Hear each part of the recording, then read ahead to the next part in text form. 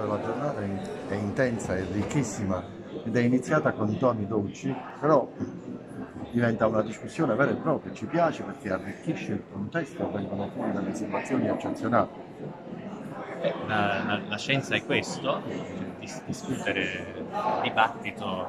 il confronto sono, sempre toni dolci, ma altrimenti sarebbe noioso se non ci fosse un minimo di dibattito. E adesso sono venuti fuori alcuni punti, eh, oltre alla, all'architettura, eh,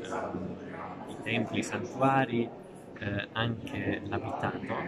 che è un po' una lacuna, l'abitato pre-romano di Pestum, come abitavano, come vivevano i greci che hanno costruito i templi di Pestum. Sappiamo molto delle tombe della,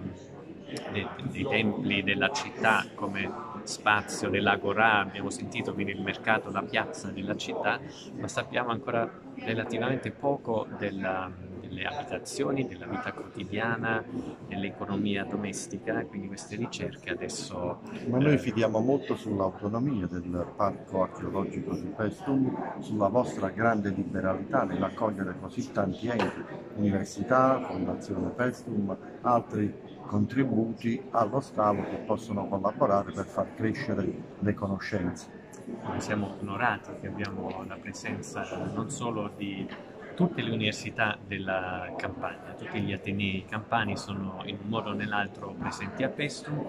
ma anche di atenei italiani da, da, altre parti, di atenei stranieri, perché solo in questa maniera Pestum può sempre più diventare una, una palestra, un cantiere internazionale di, della ricerca archeologica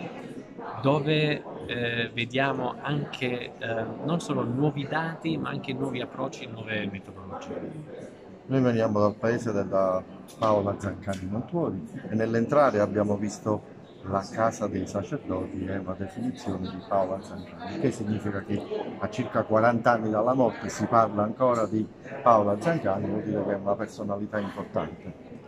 Assolutamente, abbiamo parlato all'inizio anche delle metode. In questo caso diciamo, eh, abbiamo un po' rivisto ehm, la sua definizione perché l'abitazione dei sacerdoti è un po' un concetto no, della, della, casa del, del parrocchiale, ah, del, è un po' un concetto moderno. I sacerdoti in antico erano, erano cittadini che assolvevano a questo ruolo a volte solo per un periodo di tempo, a volte anche eh, più lungo. Ehm, e quindi non dobbiamo immaginare eh, la, la, l'organizzazione di un santuario greco eh, con una, una, specie di casta di, eh, di sacerdoti separati dal, dal, corpo civico, ma la religione greca è, come si suol dire, una, eh, una polis religion, una religione della polis, della città, dove non c'è distinzione come oggi nel, negli stati nazionali tra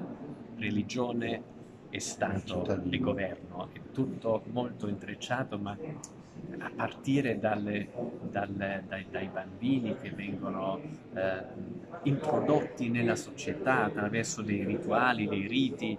eh, fino alla morte, quindi tutto è un, un fatto religioso e politico al tempo stesso.